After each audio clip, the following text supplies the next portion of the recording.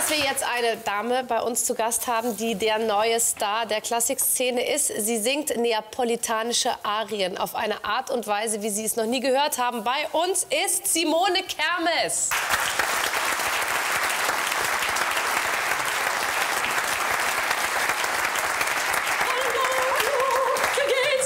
Sehr gut. Ich habe ein bisschen Kreislauf.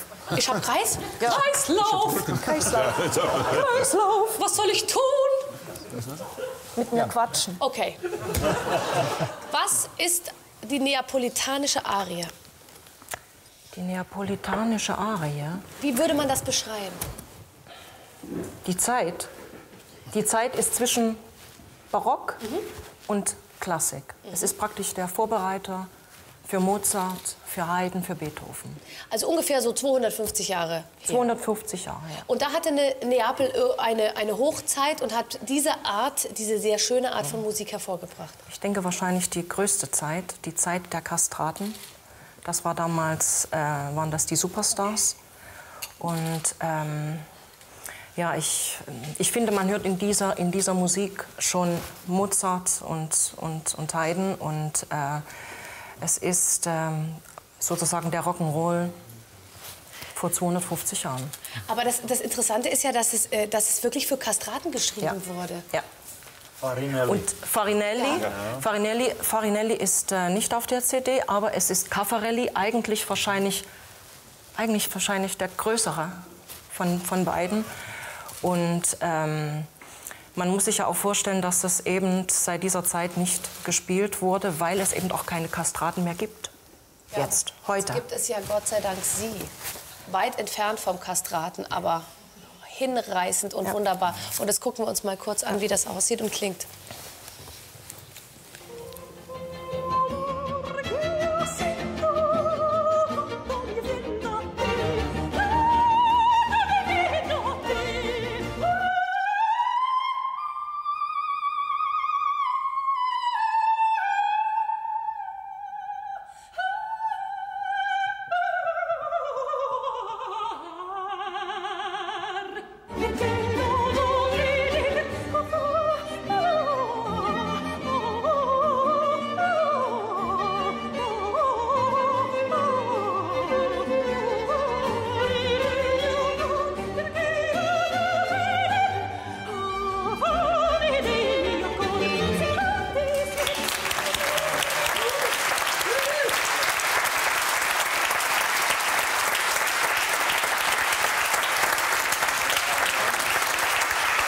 Gerade gesagt, im Tschechischen war es immer so schwer, endlich mal ein Vokal zu finden, den man lang singen Ja. kann. Hier sind ja durch die Koloraturen und durch die Art, es zu singen, das ist ja wahnsinnig schwierig.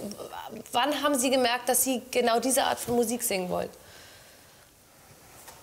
Wann habe ich das gemerkt? Es ist eigentlich mit der Zeit gekommen, eigentlich durch die Schule natürlich von Mozart und dann der, der Barockmusik mit Vivaldi. Ähm, und dann kommt man dahin. Also ich, ist, ich, ich, ich habe ja eine lange, wie gesagt, lange Bandbreite von. Aber man macht eine ganz, also es ist natürlich, Sie sind eine ganz klassisch ausgebildete Sopranistin, natürlich. die sich dann aber natürlich äh, dazu entsch entschlossen hat, eben dieses Fach speziell. Ist es eine besondere Technik, die man, die man da lernen muss?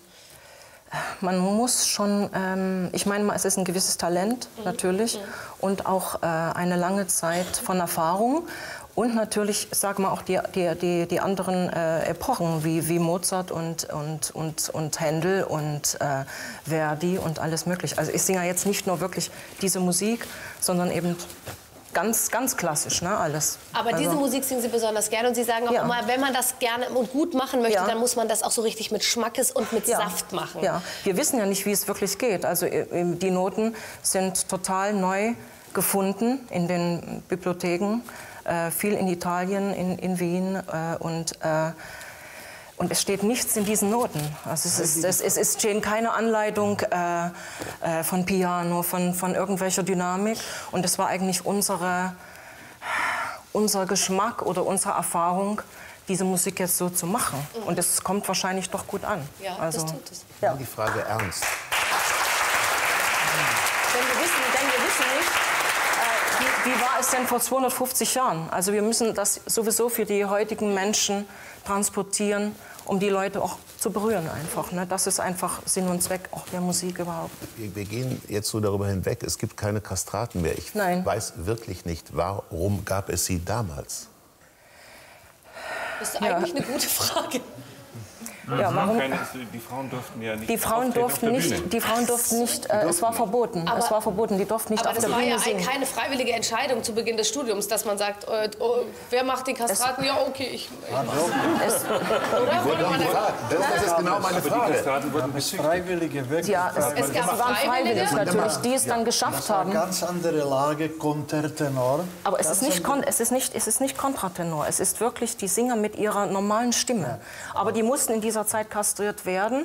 Und dann konnten die sozusagen eigentlich wie mit unserer Stimme, Sopran oder Alt, die haben mit dieser normalen Stimme gesungen. Deshalb ha- ist das auch nicht, dass man, dass man dann abgenutzt ist, wie zum Beispiel bei den äh, Kontratenören. Die singen mit der Kopfstimme, das ist ja künstlich. Aber die haben wirklich auf den Körper gesungen. Und deshalb war das auch ein ganz anderer Klang. Man kann das sich nicht vorstellen. Und wenn man diese Musik Hubertus hört, Gesichtsausdruck. es ist, Also, Ich hab- ich es ist muss unglaublich, weil natürlich die Männer waren, die hatten, äh, die, die sind gewachsen wie Männer, hatten riesige Brustkörbe und konnten dann natürlich so einen großen Atem haben und hatten dann diese Stimmen, aber eigentlich wie ein Sopran oder also ähm, un, unglaublich. Und so ist diese Musik. Konnten nicht Väter werden. Konnten nicht Väter werden. Ja. Ja, man muss sich entscheiden, schön singen oder Vater sein. Ich glaube, Aber Sie sind ja beides. Das Sie konnten nicht Väter werden, aber er ich glaube, sie waren hervorragende Liebhaber einfach. Sie waren sehr, sehr, sehr. sehr ähm, ähm, für die Frauen attraktiv, weil die eben nicht schwanger wurden. Was mich nur irritiert hat, war Ihre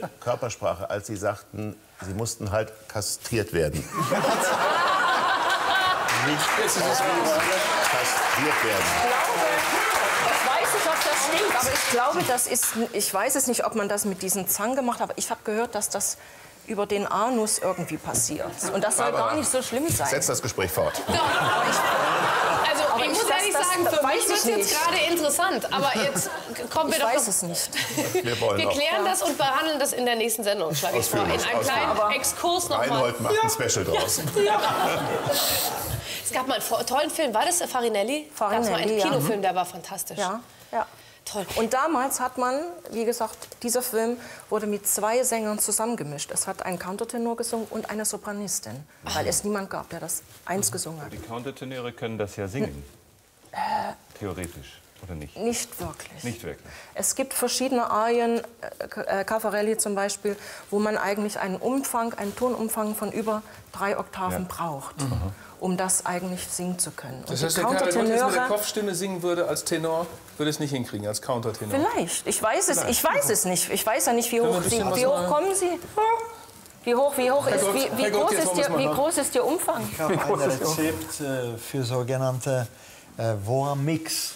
Ja. Ja, dass ich praktisch mit Kopfstimme singe, aber färbe das so, dass das klingt wie richtig Wie, das klingt- mit Stütze. Mit Stütze. Dass Und noch höher? Noch höher? Nicht hört. Noch höher? Das geht noch höher, glaube ich auch. Ja, früher war es Ganz höher, sicher. ja.